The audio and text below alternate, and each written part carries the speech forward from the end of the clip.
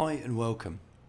In this video I'm going to provide an overview of the uh, 3XX pages which we show within the reporting tab of our SEO tool suite.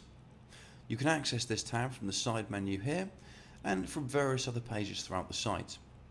Once you come to this page uh, you'll see under the indexation tab which is what this whole series of videos covers a set of things that can all affect indexation.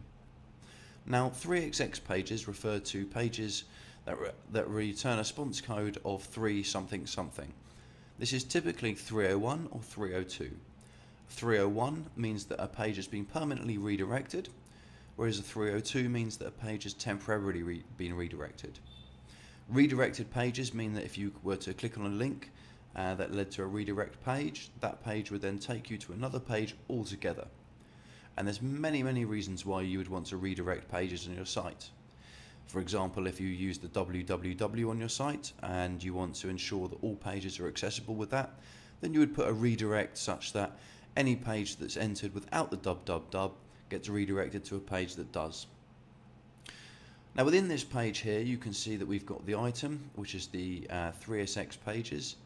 We've given an icon next to this to say that it's just data because it's not typically an error although it can be at points and we show the number of those pages that were identified during the latest crawl and the previous crawl, as well as any difference in those numbers. You can click on all of these numbers and this will take you through to a page where you can see all of the pages that have been redirected, the status code of those pages, so whether it's uh, 301 or 302, and also the pages that those have been redirected to. We also show whether these pages are in the, are in the sitemap so that you can do a quick check to see whether all of the correct pages are actually listed in your sitemap.